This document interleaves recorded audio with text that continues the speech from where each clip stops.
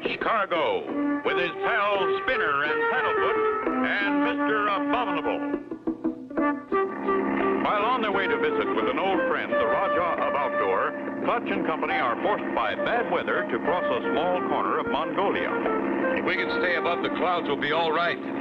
But we're losing altitude fast. If this keeps on, I'm afraid we're going to be in trouble. I'm not scared, Clutch. Are we, Paddlefoot? I can't keep her up. We just don't have enough power. Flying, flying in these high mountains is a dangerous business. Clutch! That mountain just ahead! We're gonna hit it! That was too close. We've got to try and land. You could help a lot, Spinner, by keeping a sharp lookout ahead. Clutch takes the plane lower, and they break out below the clouds. But no possible place for a landing can be seen. Spinner, we're in luck. Look at that ahead. It's a kind of a clearing, Clutch. And I think I can see some tents. Looks like some sort of civilization, Spinner. This is it. Hold on. I'm going to try and set her down.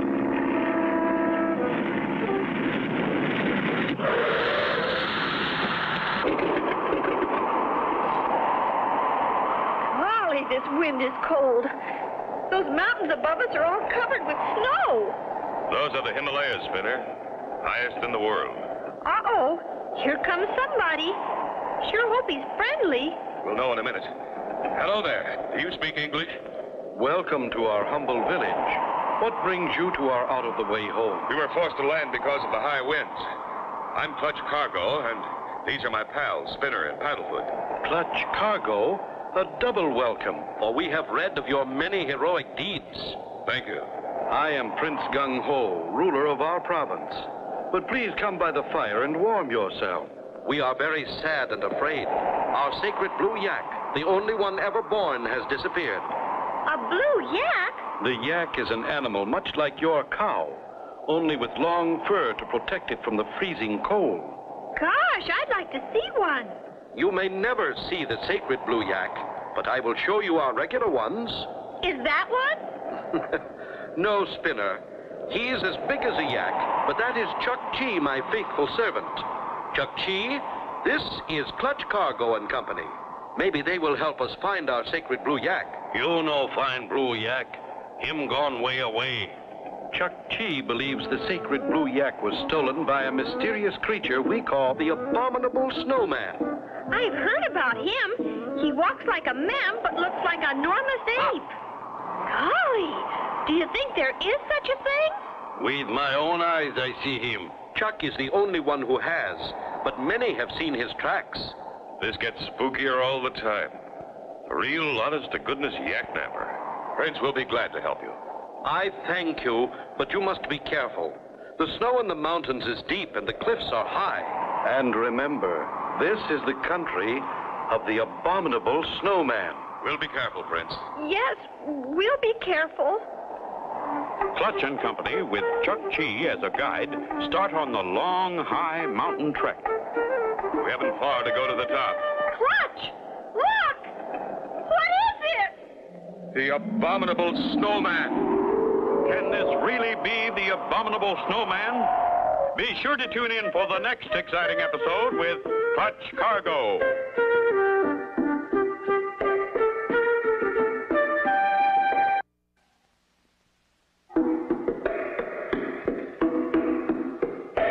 Clutch Cargo with his pals Spinner and Paddlefoot and Mr. Abominable. You remember last time, Clutch and Company were on their way to see the Rajah of Outdoor and were forced down in Mongolia. They met Prince Gung Ho and his faithful servant Chuck Chi. Their sacred blue yak had been stolen. As Clutch and Company began a search for the beast, Clutch! Look! What is it? The abominable snowman. Come on, Spinner. We're going to follow him. We are? maybe he'll lead us to the blue yak. Chuck Chi, Clutch! He's gone! I'll. Chuck Chi! Here goes the snowman, Clutch. Come on, let's go. The snow's too hard to show tracks here, but I, I think he's behind that snow pile just ahead. Quiet now. Maybe we can surprise him. But golly, Clutch, he looked awful big. Clutch and his pals take a careful look. He's not there. Where'd he go, Clutch? There's something moving over to the left. You and Paddlefoot wait here. If you see him, holler. Okay, Clutch. Clutch goes on ahead, while Spinner and Paddlefoot keep watch from behind the snow pile. But something is watching them. Quiet, Paddlefoot. Clutch doesn't want us to make any noise unless we see the snowman. Quiet, Paddlefoot. Yipe! Clutch!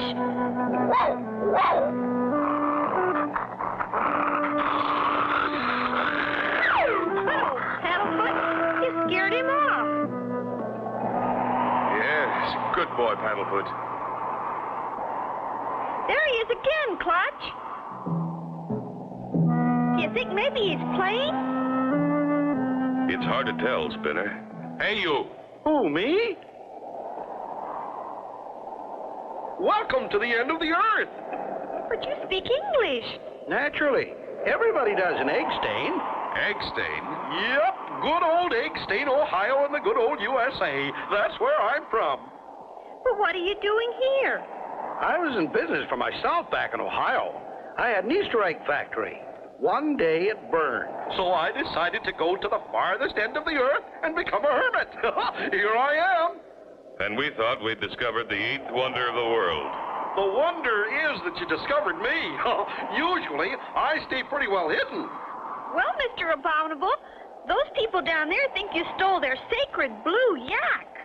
I think I saw it, but I wouldn't take anything that didn't belong to me. You mean you know where it is? Follow me. I'll take you to the place where the sacred blue yak is a prisoner. You mean it's caged? It's in a pen at the bottom of a deep canyon. How did it get in there? That's the problem. There's no way in and no way out. You mean this canyon has no entrance at all? Yep, that's about the size of it. I had a good look round for myself. I figured that only a mountain goat could get in there. That is, if he had a parachute. There must be an entrance somewhere. And we'll find it. Come on. Golly, this ice is slippery. We don't want to get too close to the edge of the cliff, Paddlefoot. Not much further now. Just over this little rise, and we'll see the sacred blue yak. Oh, no. Look down there, it's gone. The sacred blue yak is gone. The sacred blue yak disappeared from its hiding place. Be sure to tune in for the next exciting episode with Clutch Cargo.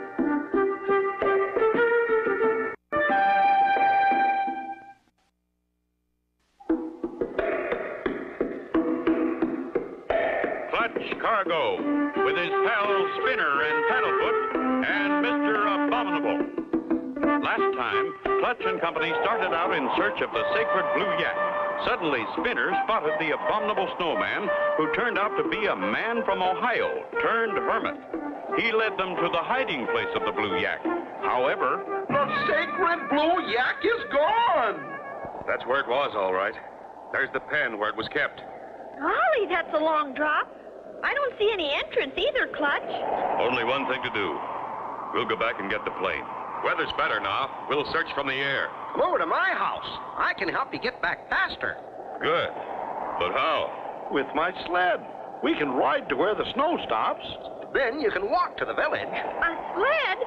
Oh, boy. Clutch and Company head for the snowman's home.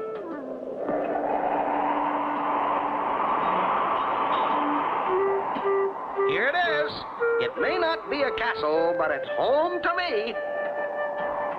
Gee, this would make a swell clubhouse for the kids. Come in. I'll show you how we live at the end of the earth. Looks like you're set for food anyway. Yes, I like to eat. Where's your sled? Right here. It's my bed, too. Good idea. Serves two purposes. it's a bed sled. This'll be fun. Golly, this is fun. Paddlefoot. He looks like he's ready to take off.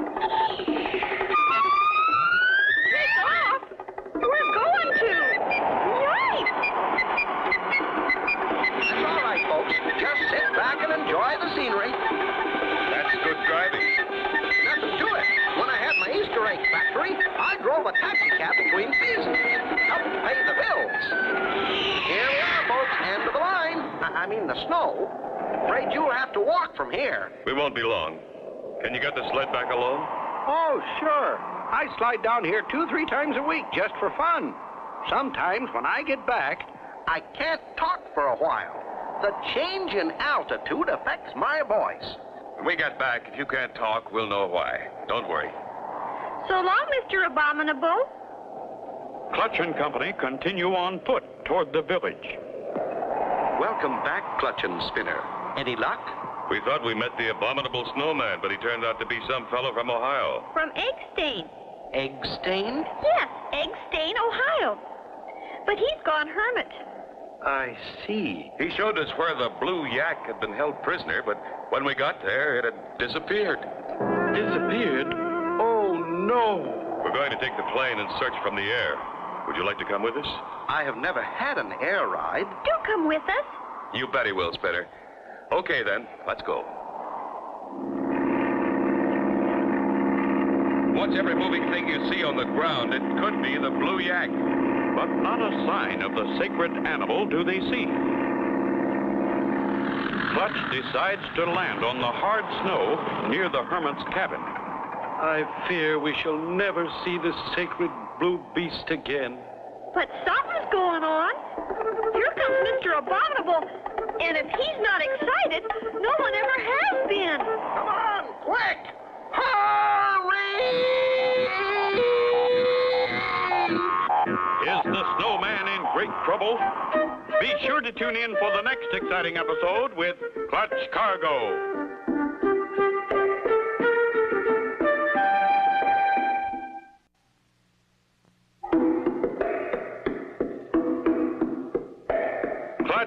Clutch with his pals Spinner and Paddlefoot and Mr. Abominable.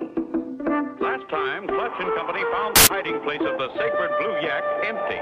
Using the bed sled of Mr. Abominable to hurry down the mountain, they picked up Prince Gung Ho in the plane and flew back to the mountaintop to find. Come on, quick! He's sure all worked up over something. Quick! Follow me! Gosh, he's going fast. Hard to keep up with him. Something terrible has happened. Hey, wait, boys. What's going on? What's happened? Come on, quick! We'll find out soon enough, I guess. I know something terrible has happened. I feel it right here. Look, he stopped. Hurry up, you guys! Great news! The yak's back! The sacred blue yak is back. Oh, how can I thank you? What, what is your name? Yes, we can't go around calling him Mr. Snowman. Or Mr. Abominable Didn't I introduce myself? I'm Jack Jones. from Eggstain, Ohio. I'm Clutch Cargo, and this is Spinner and Paddlefoot. Wow, And this is wow. Prince Gung Ho, ruler of this province. This is indeed a pleasure. Imagine meeting a real prince. You are indeed, how do you say, most welcome. And now, how to get the sacred animal to my village? I have just a thing in the plane. The coil of rope 200 feet long. We'll get it. Clutch gets the rope and ties it to a rock. Then, leaving Jack Jones, the snowman, until last, they start sliding down the rope. First, Spinner, with Prince Gung Ho last.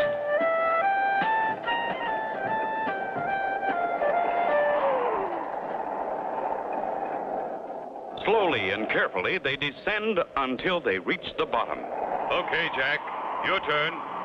Start down. My blue yak, my beautiful sacred blue yak. He sure missed you, Mr. Prince. Look how glad he is to see you. Mm-hmm. We've got to get him out of here fast. Whoever kidnapped him is sure to come back. There must be a way out. We better look. I can't let the blue yak out of my sight. What if he disappears while we're gone? You're right, Prince. You stay and guard him while we look around. Come on, Spinner. We won't be long, Prince. Jack Jones, the snowman, makes his way slowly down the long rope. As Jack Jones told them, the change in altitude begins to affect his voice, and soon he is unable to make a sound. while Clutch and Spinner are searching for a way out of the deep canyon, Jack Jones decides to rest on a ledge halfway down the cliff. Out of the rocks comes a figure who looks exactly like him.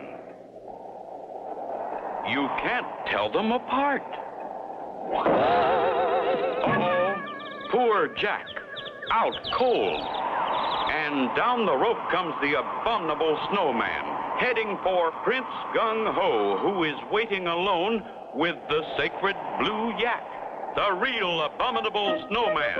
Will he do away with the prince? Be sure to tune in for the next exciting episode with Clutch Cargo.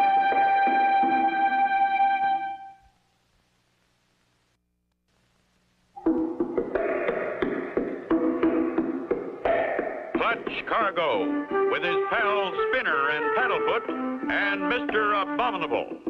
You remember last time, Clutch and Company flew to the mountaintop to find the sacred blue yak was back. Reaching the canyon bottom by rope, they found no exit.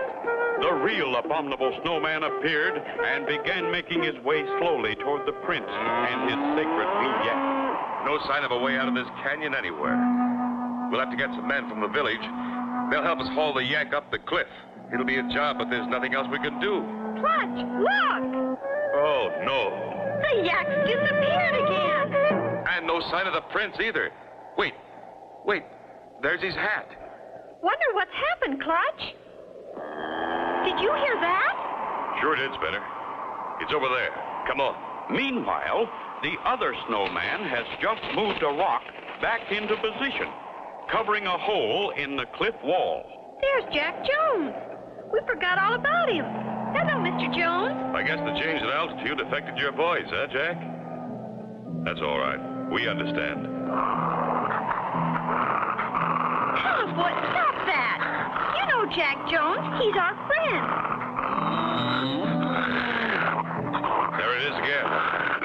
Coming from inside the cliff. Clutch, there's an opening behind this rock. That's what we've been looking for.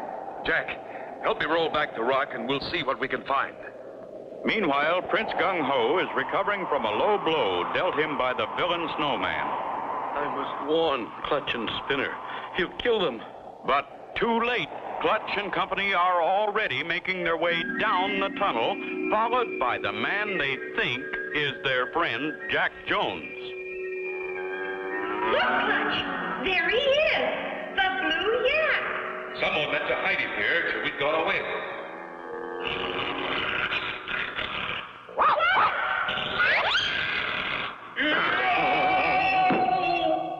Good work, Paddlefoot. That wasn't Jack Jones at all. Why, it's the real Mr. Abominable. Clutch! Clutch cargo! That's the Prince Gung Ho.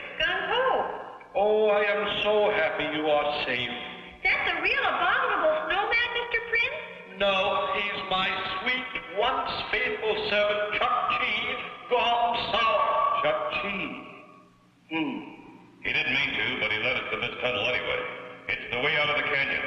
Come on. As soon as we get through here, I'll go up on the cliff and get Jack Jones. Wonder what's keeping him. As they come out of the tunnel, they hear a shout. Hey! Be careful. Here comes Chuck Chi again. That's not Chuck Chi, Prince. Paddlefoot knows. It's our old friend, Jack Jones. From Eggstain, Ohio. And that's where I'm going. I've had enough of being a hermit. You've seen the last of Chuck Chi, Prince. As near as I can figure it, he needed the sacred blue yak to become the ruler of another province. But now it is safe again. I thank you all, my friends, from the bottom of my heart. Clutch and company take leave of Prince Gung Ho and the sacred yak. There is an extra passenger in Clutch's plane. Yep. I'm going to start up another Easter egg factory. I'm going to make all my eggs look like that there yak and Paddlefoot. Paddlefoot, the yoke's on you. And so ends the story of Clutch Cargo with his pals Spinner and Paddlefoot and Mr. Abominable. Be sure to join us again for the next exciting adventure with Clutch Cargo.